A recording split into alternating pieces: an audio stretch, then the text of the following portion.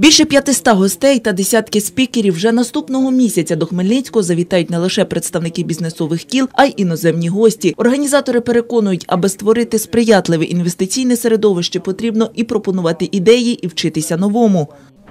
Ми взагалі очікуємо таких, скажімо, лідерів думки, ті, які могли б е, просунути і закликати до дії громаду міста і взагалі людей, яким не байдуже економічне зростання міста до якихось е, конкретних дій, ті, які можуть об'єднати громаду, об'єднати бізнес, об'єднати інвесторів.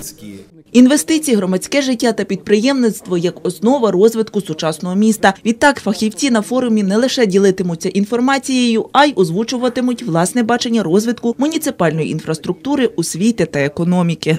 Сподіваємось на активну участь бізнес-спільноти. Ми бачимо зацікавленість вже є, хоча маємо ще цілий місяць часу. Вже є, вже виникають запитання, вже є спілкування, коли ми якісь інші заходи з ними проводимо. А отже, ми переконані, що, е, скажімо так, е, з боку підприємницької спільноти буде участь і активна участь.